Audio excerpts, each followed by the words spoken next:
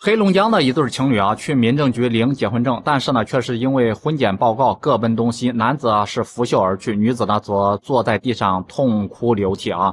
原来两个人呢恋爱的时间并不长，男方的家里面是着急抱孙子啊，况且呢两个人的年龄也都不小了，就催着两个人呢赶紧把婚给结了。经过两家的一个商量啊，男方是答应给女方二十八万的一个彩礼，女方呢则要求是先付彩礼，然后呢再举办婚礼。男方家呀总算是东拼西凑啊，把彩礼钱给凑够了，就催着两人呢赶紧把结婚证给领了。领结婚证之前不是有一项婚检吗？男方想想呀，彩礼钱也没有少花，体检呢也花不了多少个钱。再说了，对两个人呢也有个交代，是个好事情。女方呢则不太愿意啊，但是在男方的催促下呢，也是做了。等婚检报告出来以后呢，女方拿着整个的体检报告，总是躲躲闪闪，就是不给男友看啊。男友情急之下呢，直接抢过来报告单，看完之后呢，脸都绿了。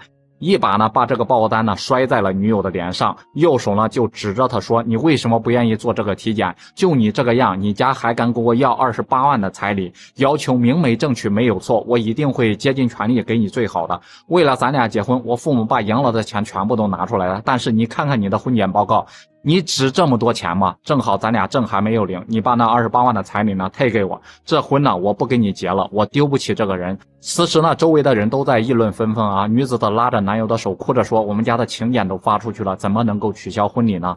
此时的男子呢，什么都听不进去，用力的推开女友，大步的走了出去，只留下女子瘫坐在地上痛哭。有的网友就表示啊，有些女人呢说什么明媒正娶，还要什么天价彩礼，问题是你有明媒正娶的一个资格吗？你说你是个二手车也就算了，关键是呢，你的发动机都报废了，你不知道吗？